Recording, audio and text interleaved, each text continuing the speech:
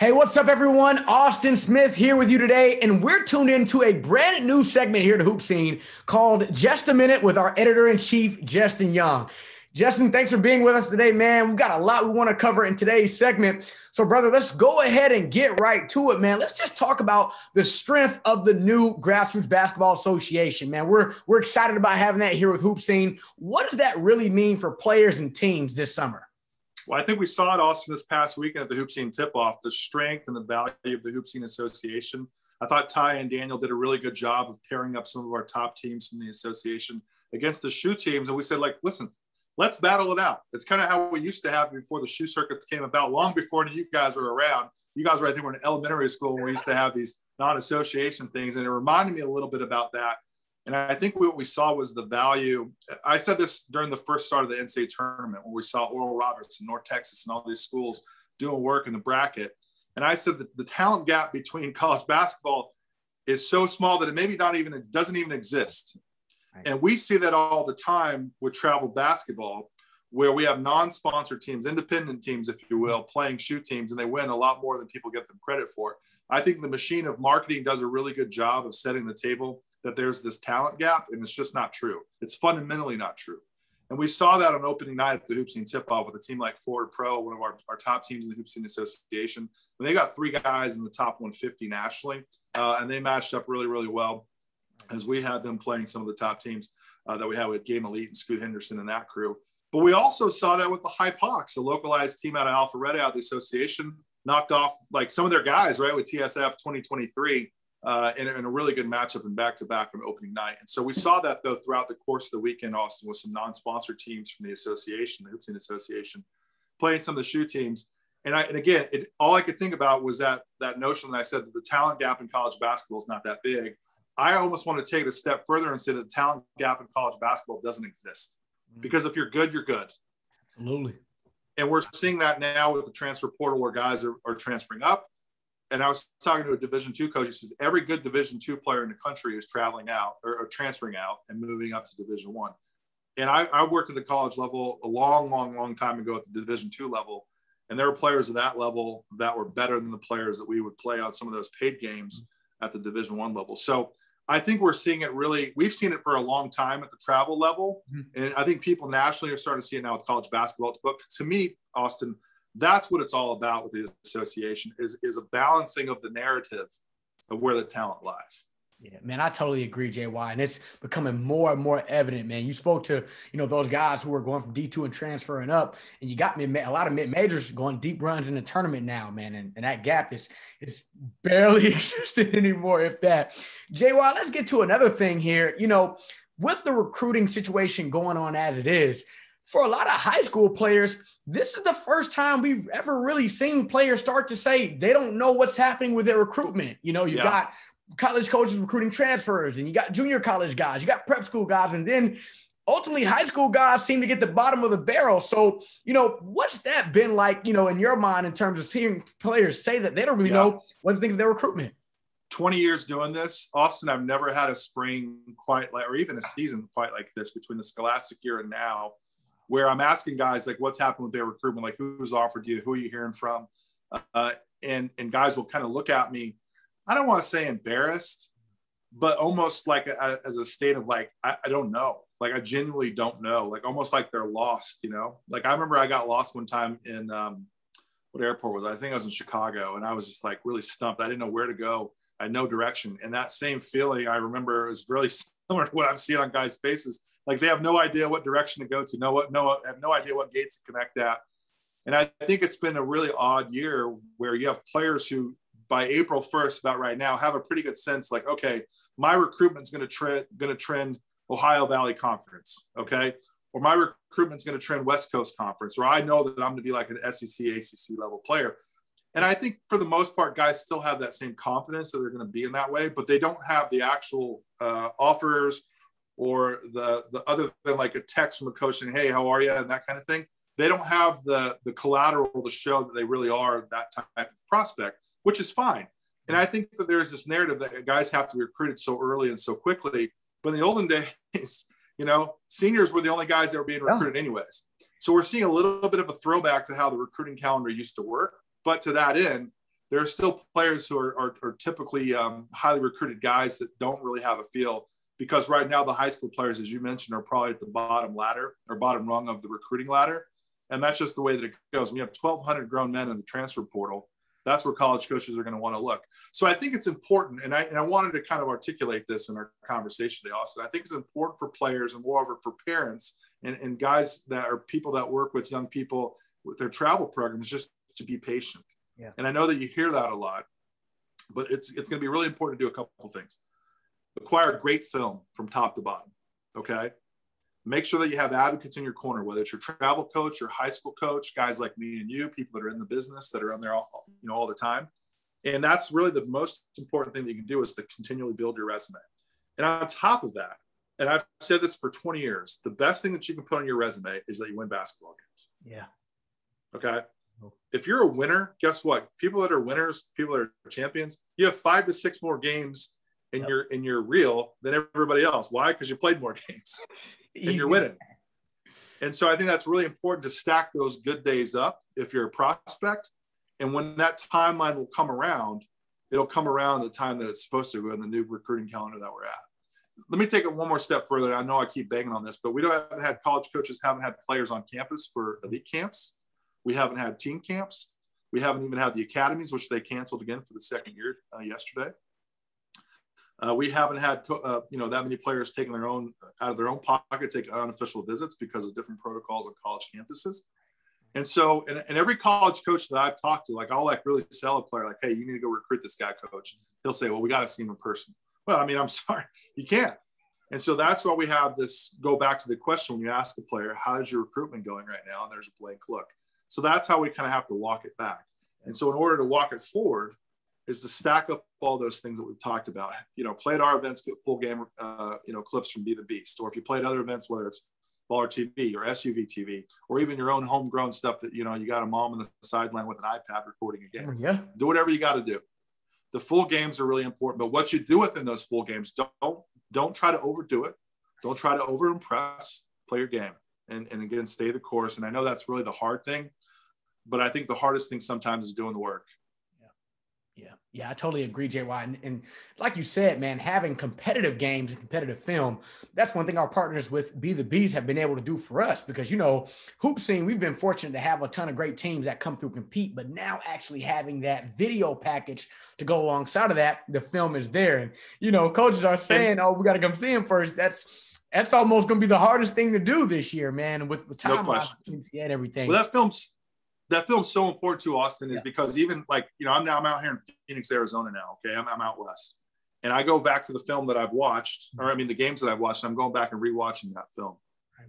And so, for I think for us and our team, I think we're actually have a better opportunity to have better evaluations right. because we're so reliant on the film now too that I'm really impressed with our team and what we're doing as far as making sure that we're getting the information right. And we're not getting so caught up in the moment of the event where there, there's a high wow factor that we can kind of rewind it back and really watch that film. So I think that element is really important too, to make sure that we have really honest and, uh, and really well thought out evaluations of players too. Yeah, man, spot on, JY. That I, man, I, I talked to so many players and parents that were just so grateful to have that provider like Be the Beast, where they can go and get the clips and watch that game film. Truly game changer for us, man, at HoopSeen. So, JY, let's look at it from another perspective. When you've got a college, for example, you know, Florida Pro had Taylor Hendricks, who reach, recently made the commitment to University of Central Florida. And so, when you have a player who decides to make that decision early, it, it seems like in a way, man, it's like when you get an offer, you kind of want to go ahead and take it and hold on to it. And, and for coaches, hey, if you see a player early that you're, you're high on, you want to go ahead and try to get them as soon as possible as well. What's your take on that? And, you know, Taylor having his commitment to uh, Central Florida already early in the travel ball season. Yeah, I think what we're going to see over the next couple of years are situations just like what we see with Central Florida and Taylor Hendricks, where there's a really good regional player. So you don't have a lot of schools out of the region that can come in and watch and play. Florida, as we know, is probably, I would argue, one of the three most recruited states in all of the country for basketball prospects. It's incredibly deep. You have a homegrown guy, an in-state guy like Taylor Hendricks, and a staff with Central Florida who does a tremendous, maybe an elite job of recruiting their in-state talent and really understanding their value. And so when a guy like Taylor Hendricks comes around, he's always been a high ceiling guy. Anybody that's watched him play since he was a freshman at University School playing with Vernon Carey and Scottie Barnes and those guys. They knew, or both of the Hendricks twins for that matter, they both committed to Central Florida. I think both both players were, were pretty well known. We've all seen them. Yeah. But this growth, even for me, from seeing him from last year, last time I saw him, Ty Young and I went down to Orlando to our friend Scott Golden and Hoop Exchanges uh, spring camp that they run. The week later, the, the world shut down. That was the last live event that we were able to see with travel, and, and, and the Hendricks twins were there. And the growth that we saw from him from that time last spring to where we were this past weekend with the tip off is substantial. Wow. And the, the Thompson twins played like all Americans. I thought they played like absolute all Americans, you know, two five star guys, mm-hmm. elite. But every single game, particularly Taylor Hendricks, was outstanding. A three and D type of player that's now going to be six foot ten. I think he might be one of the most important commitments of the class. Wow. And I think it goes to, to what we've talked about, where it was so important for Central Florida to say, hey, wait a second, before anybody else can see him play, okay, we've got to get that locked up. We can't let Illinois come down to Florida and recruit this guy, right? We can't let Connecticut get a get a peek at this guy and let's get him committed. Let's offer him, let's get him committed. And I think that's what we're going to start to see where and again, going back to what we talked about, I think annually now I think we may have 50 freshmen a year, 50 total, okay, that can come in and really truly be impact guys. Right. And what I mean by impact guys being 25 minutes a game, yeah, you know, maybe a you know your top rebounder, your top defender, maybe your top shooter, some type of some type of niche in a rotation. In order to be an impact guy as a freshman, you got to be real special or you got to be really unique. Mm-hmm. And I think Taylor Hendricks has a has a, a dash of both of those things. So much so, like I watch a lot of DaRon Holmes, who's out here in Arizona, mm, Arizona yeah. Who's going to Dayton. Tremendous, tremendous pickup for Anthony Grant and those guys. A lot of the same things that I saw with DaRon Holmes is what I'm seeing in Taylor Hendricks, who's going to go to a place where he can play right away. Mm-hmm. And DaRon Holmes, to me, I think is one of the top 30 guys in the country, and a guy that I think some NBA guys when we're talking about not that far along. And I think Taylor Hendricks, I wouldn't shock me if we have the same narrative for a guy like that. Wow. As good as the Thompson twins were this past weekend, I want to make sure that we talked about that, about how good Taylor Hendricks is and how good Taylor Hendricks can become down the road. Right. Yeah, I, I agree, man. You know, Taylor oozes with versatility and potential. And you no question. DaRon Holmes, man, is in my opinion spot on. I mean, I had a chance to see DaRon in a camp a couple years ago, and you know that length, the upside, and fast forward to now seeing him play out there in Arizona, and then getting the chance to actually see Taylor in person. I said, I told myself from the jump, man, on day one, I'm like, those are the Thompson twins, but this Taylor Hendricks kid's pretty good too. Yeah, no oh, question. Yeah. One of, my, one of my favorite players for sure. Well, JY, you know, coming up this weekend, man, we've got the Bama Jam, right? And I know everyone's excited. We've got a lot of teams that are going to be in Alabama that they get a chance to make it to the tip off. From you, brother, what are we looking for as far as in a major event with the Bama Jam, man? What should everyone expect this weekend? Well, we're looking for another busy weekend. And so much so, like, I've got a grid schedule printed out, and we're going to have a big time staff, and we're, we're going to make sure we get it covered really, really well. Uh, somebody asked me, who, what are the same teams that we had at tip off that are going to be at the Bama Jam? We have four. That's it. So we have a whole new group of guys that are coming in, a whole new division of our of our HoopSeen association that are going to be there. We've got the Atlanta All Stars playing again. Okay, so that's one of our top teams. Atlanta Timberwolves, one of our top teams. Uh, let me just kind of again take a look at Norcross Heat. They're going to make their debut. The Tennessee Tigers, a very familiar team within our HoopSeen platform. All the while, we've got a lot of the Bama powerhouses like Pro One. We've got JSI. We've got a lot of those teams that play with us. Of course, we've got Hawks Elite, CP25 of our association, uh, and a number of those teams that are coming in. So we've got some high level teams that we haven't had a chance to see yet this year. And so our team of Brianna Patton, Josh Tech, we've got DeCourtland Christian is going to make his debut with us in our, in our HoopSeen Alabama team. Yep. Of course, the OG Andre Whitehead from HoopSeen Tennessee is going to be there as well. I'm very excited about what we've got going on. I'm going to be watching on Be the Beast stream out here in the West. I'll probably have my feet in the pool or something like that out here in Arizona. It's gonna be like 95 degrees, Austin. Somebody watching the Bama Jam from afar, like at an Easter egg hunt or something like that. Um, but I'm really excited about what we've got going on. And the Bama Jam last year, I thought was my favorite event of the year.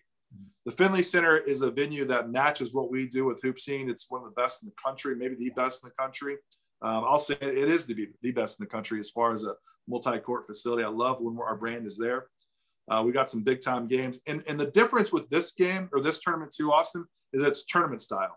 Daniel Paccioni, yeah. our tournament director, has switched it up, and we've gone from showcase games that we did the tip off to more tournament style, which, as you know, it's more competitiveness. And I like to see that. The Tennessee Blazers is another team that they won it last year in a 17U division.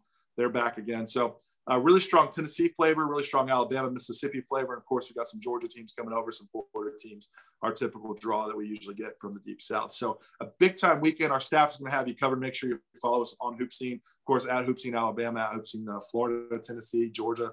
All of our accounts that we've got here in the Deep South, we'll make sure we get you covered, and, and uh, all of your guys are going to be watched. Man, it's going to be loaded, Jay. One thing I really think a lot of people are going to be interested to see is you mentioned it's going to be tournament style right? And just like you mentioned, for those players who need more film, the key is winning, right? Yeah, so win, you win, win, you win, you get more games, and that competitive environment, I know is going to be off the chain. And our staff, man, they're going. To, I know they're going to do a fantastic job of taking care of everyone and making sure this thing gets the right notice. So, JY, no question. Real quick, man. Last but not least, want to flex our muscle here just a tad, man. Sure. You know, the HoopSeen tip off was a fantastic event. And, you know, you talk about um, having the opportunity to have a staff who's getting at least as many players and teams covered. And we can expect the same thing from Bama Jam. How, how important is it really to play at a place like a Bama Jam or a HoopSeen tip off where college coaches have an encyclopedia basically of information on players and teams and they can plug in like to be the beast to watch these teams play live? Man, how significant is that? So let me walk this back just a little bit. Okay. So in the last 20 days, I've been on flights to Hawaii, to Dallas, and to Atlanta. So I had a lot of time in the air to think. Okay. And in this process of conversation, right before I, I kind of went on this crazy, like, you know, uh, tour across North America from one end of the, of the country to the other, I had a college coach, several college coaches say, can he impact the game right away? Because we got to have, can he be better than transfer? And I've really thought about this you know, as advocates as we are for high school players, and also from the business side for what we do for colleges with our recruiting services, I, have I've really had to pivot and think about the, the, the nature of our business moving forward. And so I'll get calls on players that I haven't seen in over two years from the prep level. Okay. Wow. So like I've got to go back and think, okay, I saw this guy play at City of Palms in 2017, or I saw him play at 2018. And so like I'm going back to my notes, which we we've we create so much content at HoopSeen that it, it actually like it kind of triggered like this this um, confirmation of what we're doing and it's doing it right. And the amount of content that we're creating allows us to create, if you will, like a Wikipedia for basketball players. Okay, so we've got a historical documentation of what these players have done and where we've seen the progress of their of their game from the time that they were probably, you know, eighth graders all the way to the time they're seniors so how much growth happened within that structure, which now will give us a better opportunity when they're a freshman or sophomore in college when they transfer, if they transfer, that's what I should say. Yep.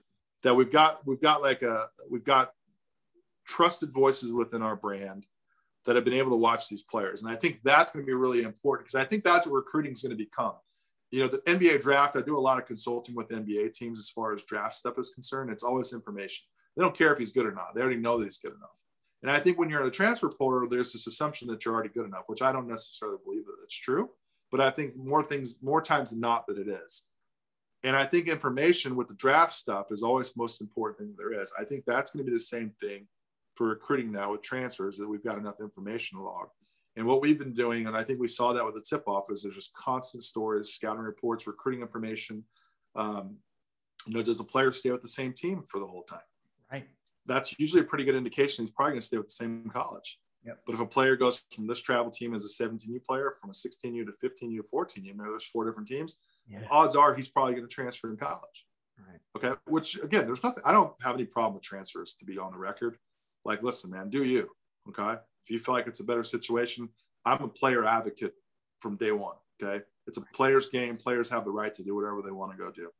Um, but I think there is, if you're a coach and you're making a business decision as far as your roster is concerned, there is like a backup or, or a, a, a, backlog of information that you can find, which will help you make better decisions as far as your recruiting processes and stuff is concerned. So hmm. th- that's why I like what we do at HoopSeen, Austin, is because I think we do a really good job of documenting this stuff with player profiles, which are really robust.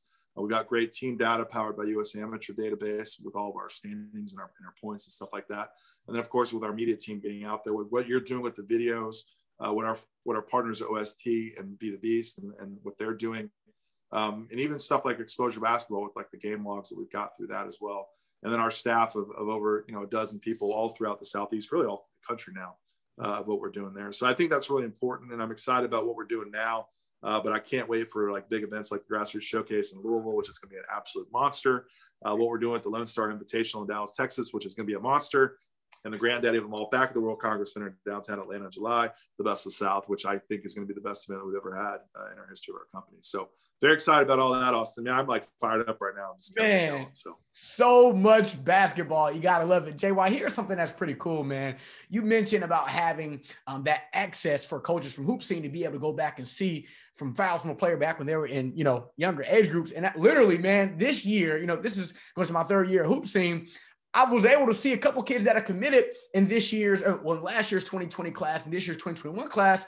I was like, hey, man, I wrote an article on that kid, you know, a couple yeah. years ago at Atlanta Gem, at Best, at Bob Given. So, man, you know, HoopSeen has just done a phenomenal job in terms of all of our staff being able to produce that content for coaches to have instantly. And, man, and in today's situation regarding recruitment, you got to have information. I think that's a key thing yeah. you touched on as well. Well, Justin, I'll tell you this, man, and for everyone viewing, our schedule for this year is loaded. Right, JY mentioned Bama Jam, Grassroots Showcase, Lone Star. You know, best. Um, it's so much great basketball and great opportunities for players to be seen.